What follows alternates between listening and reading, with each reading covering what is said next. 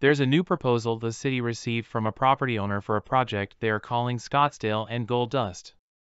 This is case reference number 2DR 2023. Located in the central Scottsdale area near Scottsdale Road and Gold Dust Avenue. The site is in the central Scottsdale area near Chaparral High School.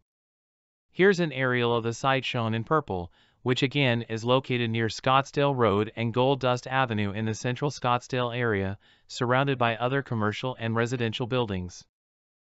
This is a bird's eye view of the site location of the proposed project. This is a street view of the site location of the proposed project.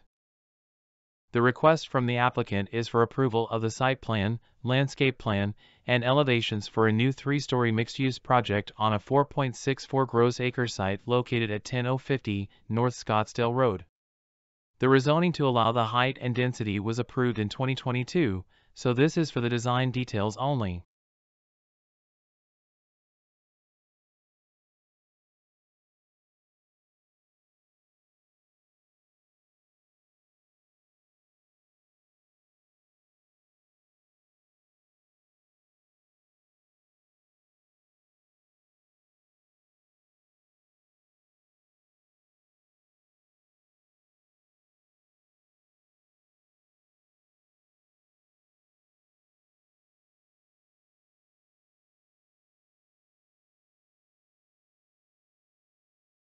This recent proposal will go to a public hearing in the future.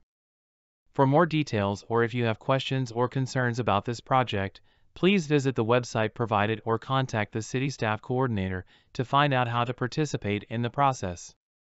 This video was created in February 2023 by the City of Scottsdale Planning Department. Information provided to the city is subject to change.